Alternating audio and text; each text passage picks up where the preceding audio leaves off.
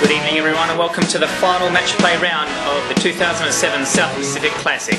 I'm here tonight with Brenton Davey. Good evening, Brent. Good evening, Stephen. Here are the standings. Hamish Rogers, four wins, six losses, 5,687 pins with his bonuses.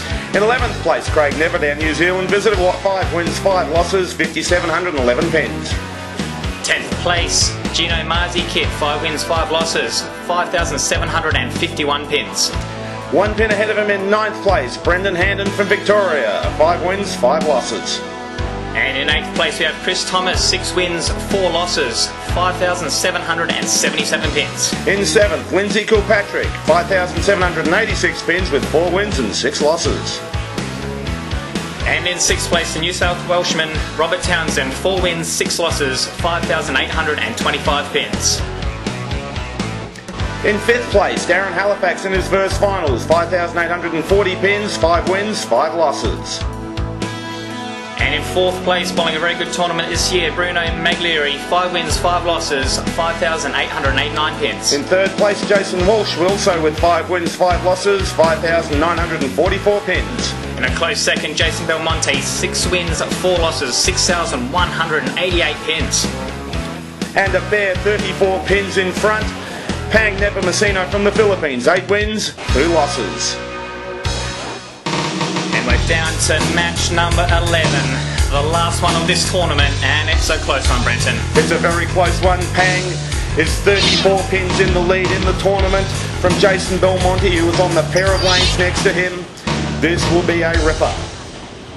Wow, what a showdown. Last match here. And Paeng will be looking for an early strike kick, get rid of the nerves, and ooh, not a great shot to start with. As you'll see here on the replay, the ball a bit wide. Goes into its break, skids a bit, breaks again. Happened all weekend when you threw the ball a bit wide. You cannot afford to throw it into the out of bounds on this condition at any time. Looks tough out there. It's oh. been tough all week. Our last match, you're going to need some intense concentration. Just needs to settle here. Setting himself up. And oh, what happened there? The lights seemed to flicker a little bit on him. Yes, looks like Wow. looks like there was just a little bit of a flicker in the lights. It put him off. He was halfway through his approach, but he did the right thing. Went back, reset himself, like the experienced player that he is. Oh, uh, no. No, finals like atmosphere. Don't want things like that putting you off your game, but he's gone back and made the spare. He's won 117 tournaments worldwide. Little thing like that's not going to distract him too much. Yeah, right, there's that experience. So now Bruno starting off his game. He was our top qualifier this week for the match play finals, but has was. struggled just a little bit. He's been fighting his release a little bit, and as a result, he's sitting in fourth place with really out of contention to win the tournament. Still, he's looking to get up the ladder, so if he can get a good game in here, and wow, he started off well. That's a nice shot there. Nice little bit of loft, got the ball well out on the lane. 10 in the pin. He's got the early uh, advantage here. Paeng needs to respond.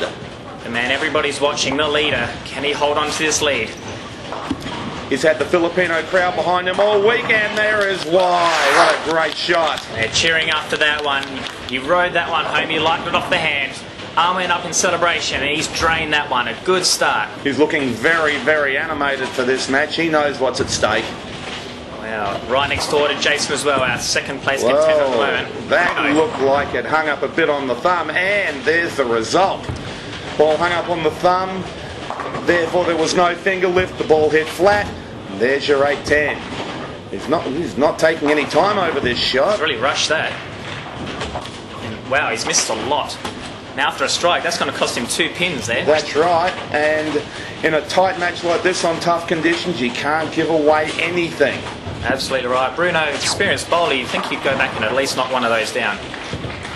Looking just a little disheartened. A little bit frustrated.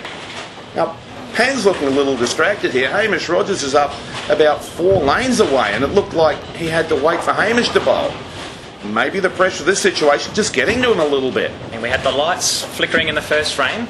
Easily distracted from another bowler in the next frame. He just needs to really knuckle down and concentrate here. Maybe nerves are playing a part, or Entirely possible. He is looking just a little bit tense. Have a look at him. He's trying to pump himself up here. And I don't know if he wants to do that too much because on a tough pattern like this, too much adrenaline can be poison. He needs to settle here, knock back this spare and go back and just really concentrate on his own game and throwing good good shots.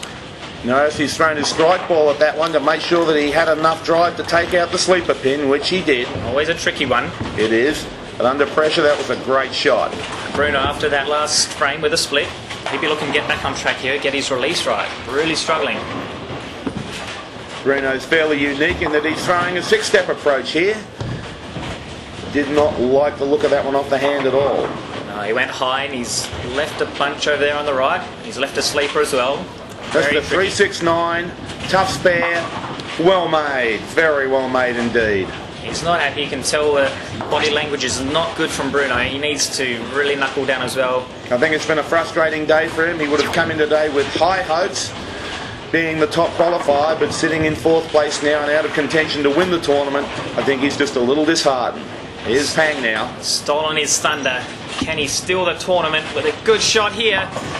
No, he's gone a little bit, little bit light on it and left a three pin. He's gone light again. Looks to me like a little bit of adrenaline, a bit of tension. He might just be throwing the ball just a little bit hard.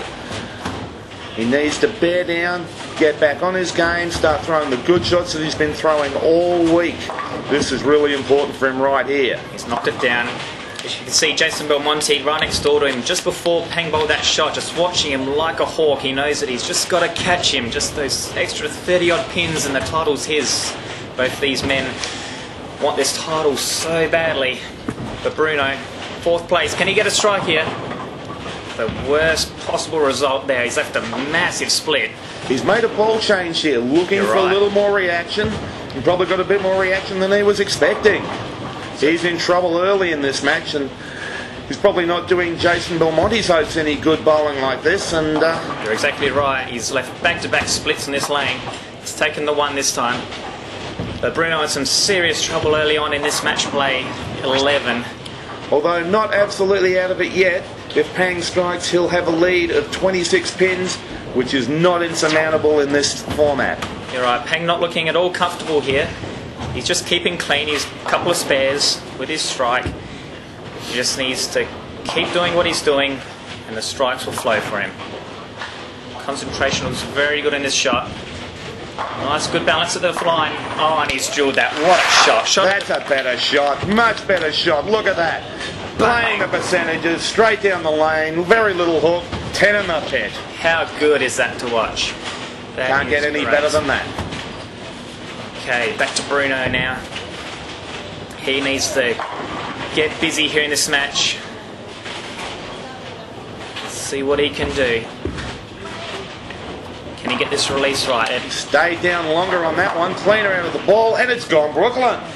And carried it. Right smile there. You know, he got lucky on that. He's gone to the Brooklyn strike to the left.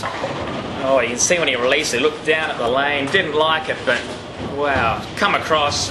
Yep, I'd laugh at that too. He Bit got of a wry smile. I don't think Paeng's smiling though. No, he's deep in concentration. He needs a double here. Really badly. He's riding it. He likes it. Seven pin. Oh no. It Looked like a good shot, Brenton. It looked like a very good shot. Again, might have just been that hair fast on the ball speed. What would have double done there? That would have put him in a very comfortable position. And he needs to spare this one. Solid. Solid spare, struggling a hair with his balance in this match. Again, that might just be a little bit of tension creeping in. Oh, you can feel it. I mean, last match of this South Pacific Classic, you've been bowling all this tournament. It's come down to this. And Bruno feeling the pressure too. He's tugged another brookie in there. Clean out of the ball again. Goes Brooklyn. Looks like he's trying to play a relatively straight angle so that he's uh, you know, staying away from out of bounds, trying to stay out of trouble. But he has bridged the gap by 10 pins. Certainly has. Paeng must strike in here. It's gone high. Bad shot. Bad shot. Don't see a lot of those. You're not from this man, you don't. But he's he's getting very, very forward with his upper body. Very losing fast. a bit, yeah, very fast with his feet. It looks like he's losing some of his uh, balance and some of his leverage. As a result, he's not throwing the ball as well as he'd like to. He's picked up the spare. Got to keep clean here. Spares or strikes what he needs. Now Bruno, after a double, can he get the turkey? That looks a better shot. Yes, that's a better shot. Much better. Trips the four pin. His best shot of the game is one of his best. That was beautiful. He's got a turkey now and well, in front here, if he can get his eighth frame and get a strike there, Paeng's under massive pressure. Paeng now would be really starting to feel the heat. He's got Jason bowling next to him. He's got a decent game going. He does. Wow, we're in for a great finish here. Crowd is on the edge of their seats. Everyone surrounding these two pairs of lanes. These are the men to watch. And you're watching it here on the 10 pin bowling show. And Paeng, what has he got? Oh, he's left the six pin there. Probably could have gotten away with that. That wasn't a bad shot. He thought he was in there, but looks like he just maybe guided the ball just a hair. Sort of thing that happens when you're under extreme pressure. You try too hard to stuff it right in the pocket. Just when you want those to fall in these pressure situations, they just always seem to stick. I don't know how, but the pins always seem to know when you're that little bit tense. Yeah. Back on the spare though, like the experienced player that he is, that is a great spare under pressure. Speaking of pressure, three in a row here. Can he make it four? Oh, hung up on the thumb big time. Oh, got away with a nine count. Yeah, a lot of back end. It's been really late for him, which he got away with. And he's left the two pin, lucky not to leave the 210. Should be an easy spare. We'll use his straight ball here, go very direct at it. Needs a spare to keep in touch. Should be very even if he can pick up this spare. Looks good. That's not going to miss. That's a good shot. You notice on the spare shot, because he's not trying to go for extra rotation, he's not hanging up in that at all. Paeng now in the ninth frame, the foundation frame. This shot is absolutely vital. It's only a four pin match. Well, Bang in what a shot. Can he drain it? Paeng. There yes! it is. What a shot! Jason Belmonte gonna, is going to hear those cheers. He's going to know that he's drained this strike and put the pressure right on. Right He liked that one right off the hand, rode it hard. And Jason the back, and you see he's looking for score. He has finished now. He has a 220 220. game with, a, with win. a win. With a win. 240. So, wow. This is going to come down to the 10th frame. Bruno. See what he does on this shot.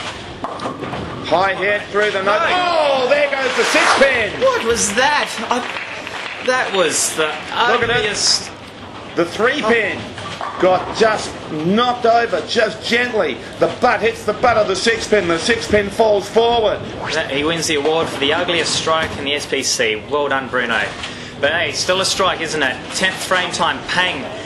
If he can get a double here, if he can get a turkey, the next two in this 10th frame, the title will be his. This first ball is so important. He likes it. There it is. That's a great shot. He knew it was a good shot. Both hands in the air. You know what this means now, Brenton? A strike here in this next ball, and we have our champion. The South Pacific Classic hangs on this shot right here, right now.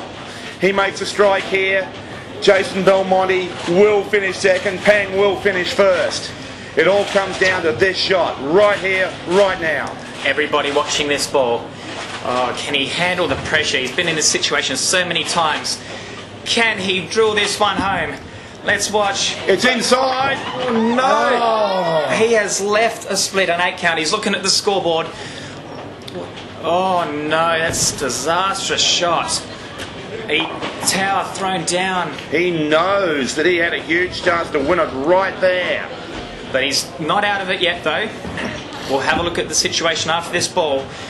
Oh, he almost got the spare. He's taken the one count. For a 203 game. Now, What this means is Bruno, if he makes two more strikes in the 10th frame, he will win this game, and Jason Belmonte will win the South Pacific Classic by three pins. Wow, so Jason Belmonte will be cheering on Bruno here. If Bruno can get, like you said, two strikes here, Jason Belmonte will be the champion. If not, Paeng will be our champion. It all rides on Bruno's next two shots. He's got to get the first one though. That looks nice. That looks nice. Yes, it is. Wow! You can see You can see Jason in the background clapping that, and Paeng will be hating that. He wants Bruno to miss this next shot. Situation is Bruno gets this one, Jason's the champ. If not, Paeng is our champ. What's it gonna be? Hang up on the thumb a bit. It's through the high. beak. Ten pin, ten pin. No, it stands. That means Paeng is our champion. The fans are going off.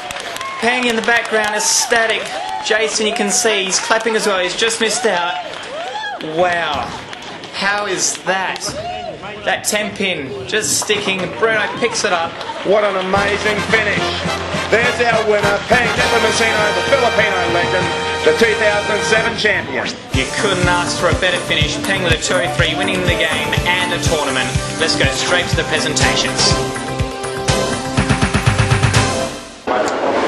in third place, finishing with a match play average of 205, a tournament average of 208, picking up $1,500. Our defending champion from last year, Jason Walsh.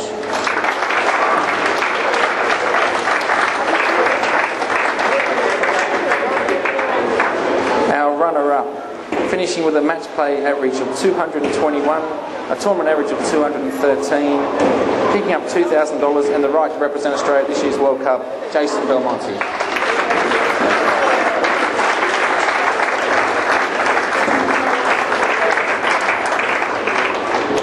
This year's champion, a bit of a crowd favourite, finishing with a match play average of 216, a tournament average of 212, his 118th career tournament win, and 23 years since he last won this tournament, making him the two times winner, Paeng Nepomuceno. Congratulations.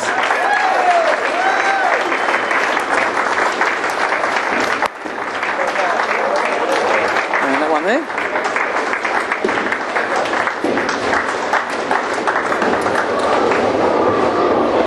And this one here. Yeah.